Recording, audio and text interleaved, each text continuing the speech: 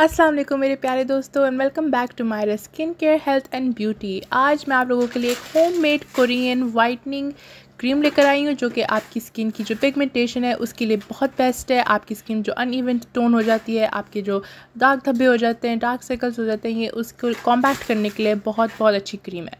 और इसके अंदर कुछ बहुत ही चंद इंग्रेडिएंट्स हैं जो इसके अंदर जाएँगे, लेकिन वो इतने इम्पैक्टफुल होंगे, आपको इतना बेनिफिट करेंगे कि आप खुद ही कहेंगे कि ये कितनी ज़बरदस्त क्रीम है, और आप जो बाहर की जो सारी क्रीमें मिलती हैं, उनको भूल जाएँगे। तो आइए चलते हैं, देखते हैं कि इसको कैसे बनाना है।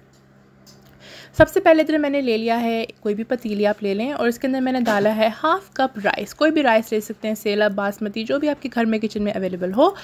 उसके साथ आपने इसको अच्छे तरीके से धो लेना है। क्योंकि हम इसको अपने स्किन पे इस्तेमाल करेंगे तो आपने डेफिनेटली इसको अच्छे तरीके से धो लेना है ताकि कोई भी मट्टी, कंकर, कुछ भी बहुत सी चीज़ें लगी होती हैं चावलों पे तो आप उसको अच्छे से वॉश कर लें। और इसमें आप शामिल करें टू ग्लास वाटर दो ग्लास मैं इसलिए डाल रही हूँ, हालाँकि इतना कम चावल है, क्योंकि हम चाहते हैं कि ये चावल बिल्कुल पक के नरम हो जाए। तो आपने मिक्सर करना है कि आप इसके अंदर दो ग्लास पानी ही डालें।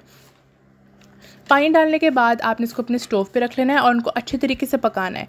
जैसे कि मैंने आप लोग को पहले कहा था कि हम चाहते हैं बिल्कुल नरम हो जाए तो आपने मिक्सर करना है कि आप उनको बिल्कुल फुली कुक करें और वाटर आपका सारा ड्राई हो जाए। ठीक है? तो ये आप इसको अच्छे तरीके से पकाएँ और बीच बीच में मिक्स भी करते जाएँ, क्योंकि बहुत ज़्यादा पक गए तो आपके चावल चिपक भी सकते हैं। जब ये पक जाए और बिल्कुल नरम हो जाए तो आपने एक स्ट्रेनर लेना है और उनको अच्छे तरीके से बिल्कुल मैश करके इसका एक पल्प टाइप निकलेगा, वो आपने निकालना है। चावलों के मैं आपको बेनिफिट बताती चलूँ, इनके अंदर बहुत सारे ऐसे वाइटामिन और मिनरल्स होते हैं, जैसे कि वाइटामिन बी वाइटामिन सी जो कि आपकी स्किन के लिए तो बेस्ट ही हैं।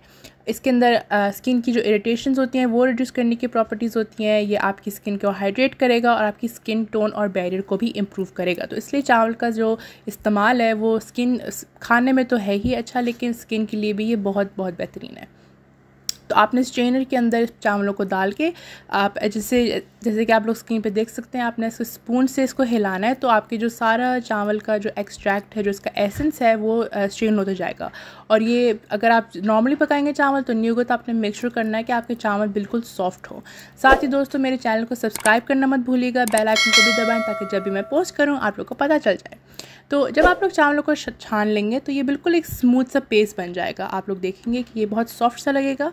तो इसमें आपने शामिल करना है दो टेबल स्पून मिल्क मिल्क वैसे ही मैं आप लोग को अपनी वीडियोज़ में बता चुकी हूँ कि मिल्क के अंदर कितनी अच्छी प्रॉपर्टीज़ हैं आपकी स्किन के लिए। या आपकी स्किन को हाइड्रेट करता है। स्पेसिफिकली गर्मियों में बहुत सी लोगों की स्किन ऑयली हो जाती है तो ये उसके लिए भी बहुत अच्छा है। और इसमें मैं शामिल कर रही हूँ दो tablespoon almond oil almond oil हमको वो एक्स्ट्रा मॉइस्चराइजेशन देगा। अगर आप नॉर्मली भी सिर्फ़ आमंड ऑयल अपने चेहरे पे लगाएँ तो उससे आपको बहुत अच्छी मॉइस्चराइजेशन मिलती है, जो कि नॉर्मल अमूमन जो क्रीम्स मिलती हैं, उससे भी ज़्यादा होती है।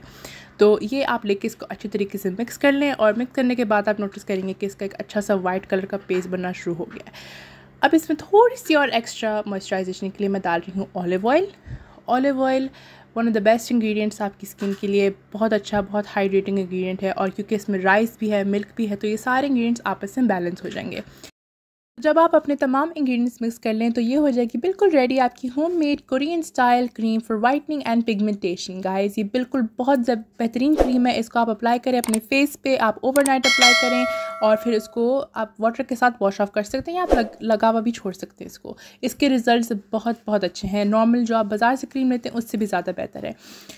तो इसी के साथ दोस्तों मेरे चैनल को सब्सक्राइब करना मत भूलिएगा। वीडियो को लाइक भी करें और मुझे कमेंट में ज़रूर बताएँ कि आप लोगों को किस टाइप की वीडियोस देखना पसंद है। तो मैं आप लोगों की रिक्वेस्ट को ज़रूर बनाऊँगी। उसी के साथ बस मुझे दीजिए इजाज़त। मेरी आपसे होती है अगली वीडियो में मुलाकात। अल्लाह हाफिज़।